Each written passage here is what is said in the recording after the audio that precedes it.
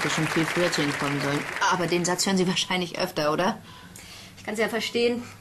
Darmspiegelungen stehen ja nicht gerade auf der Top-Ten-Liste der beliebtesten Freizeitbeschäftigungen.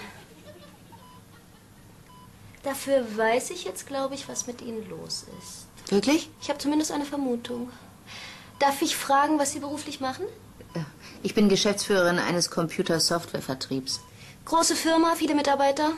260 und trotz Wirtschaftskrise, wir expandieren. Ja, dann weiß ich, glaube ich, woher Ihre Darmbeschwerden kommen. Stress, Überarbeitung. Nein, Sie haben sogenanntes AKS.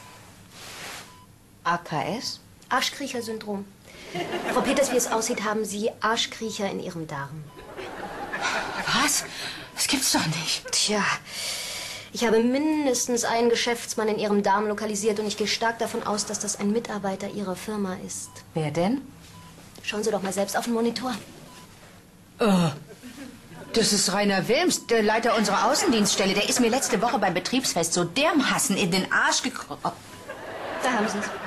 Ja, und wie kriege ich den jetzt da wieder raus? Vielleicht sprechen Sie einfach mal mit ihm. Hier drücken, dann kann er Sie hören. Hallo, Herr Wilms. Oh. Frau Peters? Allerdings, können Sie mir erklären, was Sie in meinem Arsch machen? Naja, äh, bald wird ja dieser Posten des Bereichsleiters frei und der Hupertz, der ist auch so scharf auf die Stelle und da habe ich mir gedacht, Kriege ich der Peters mal einfach in den Arsch, oder was? ja, so in der Art. Sie kommen jetzt sofort da raus. Äh, und was ist mit der Stelle? Ja, die gebe ich Ihnen jetzt ganz bestimmt nicht mehr. Dann bleibe ich drin. Bitte? Was mache ich denn jetzt? Ich fürchte, wenn Sie ihn loswerden wollen, dann müssen Sie ihm den Posten geben.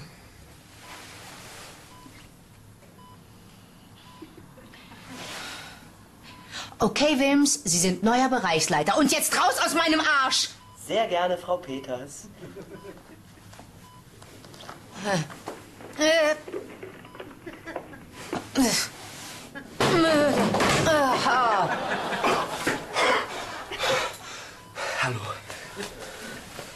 Hallo, Herr Wilms.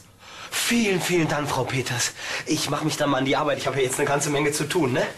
Schönen Tag noch. Tschüss. Was für ein Arschkriecher. Ups. Was? Ich fürchte, da ist noch einer. Hallo, Ach nee. Tag Frau Peters. Hallo, Herr Huppertz.